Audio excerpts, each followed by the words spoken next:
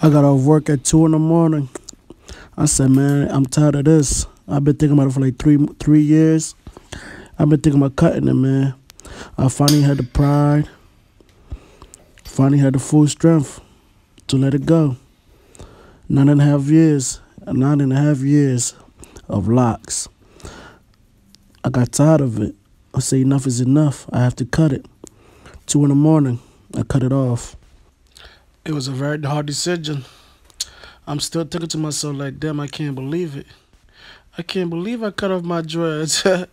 I can't believe I cut off my dreads.